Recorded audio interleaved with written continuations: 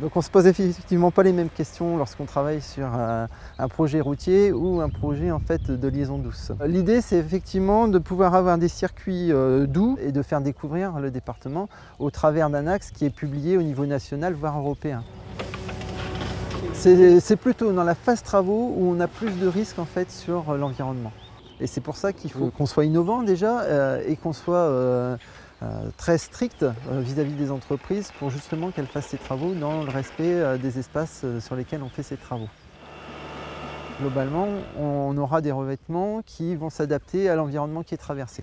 On est sur des milieux naturels, on est parti sur du sable stabilisé. C'est du sable avec du ciment, mais très peu de ciment finalement, pour pouvoir faire une cohésion entre les granulats.